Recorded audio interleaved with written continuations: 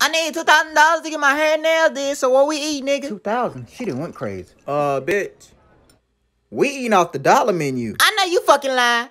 damn, nigga, who beat your ass? Baby, I got jumped. They stole my damn beat. Child, anyway, so that mean they stole all your damn money? That's why we eating off the dollar menu?